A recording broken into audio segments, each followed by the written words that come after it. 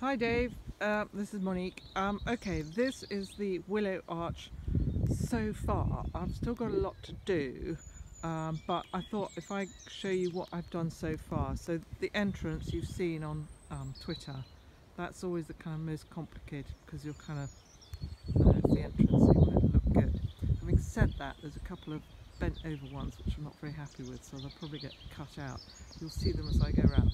So, okay, what I've done so here's the growth coming from the bottom, which as I move up, you'll see I've pulled in and I've wound around and then the, the, the big ones you kind of want to put in first because they're the, they're the bones if you like.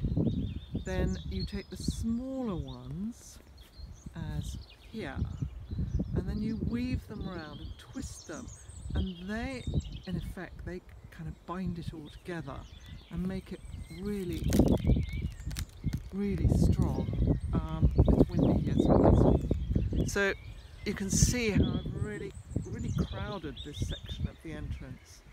Uh, but then as I say you want it to look good. You can see those two bent bits. They offend my eye so they'll come up. Um, I've tried to hide them, but they're just, they're, they're horrible acute angles. And it's supposed to be really organic and smooth and sinuous, very much alive. So, okay, we come round to the other side. Oh, sorry, my um, pruning things kind of balanced there, so they're hand. So you can see, okay, thick ones here coming down and down with this, they've kind of sprouted from the bottom. Um, and then again thin ones binding it all into place and making it kind of yeah really alive. So further in as I'm moving inside now uh, we have an area here where I've taken a lot of outside growth. Here new growth. You can see the paler new growth.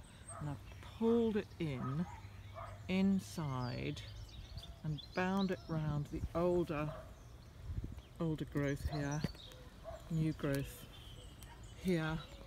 Bound it round twisted and twisted and twisted and twisted and brought in uh, a kind of new horizontal there that's brought the height down. And then as you can see all the kind of younger growth is binding the thicker ones into place. And just adds to the strength if you like. Uh, don't know what else to say about this lot here. I have, as you can see, there's still early days. This, there's still a lot to do and let's move outside again. Okay, all the top growth.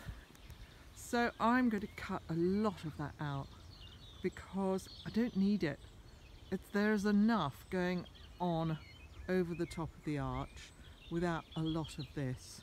So as I go, I'm doing the sides, pulling them in as you've seen, and then I will go along uh, and cut a lot out.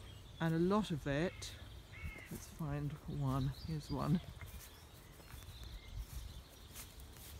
Okay, this, too big, too big, I can't move that and it, it, it would just snap uh, so that will get cut out. This next to it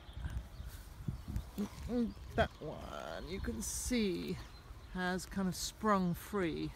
So that will get pulled in um, and use probably its, its new growth to, to kind of secure it again. Um, that's as far as I've got. And that's how I've still got all that to do. Okay, hope this helps. Bye.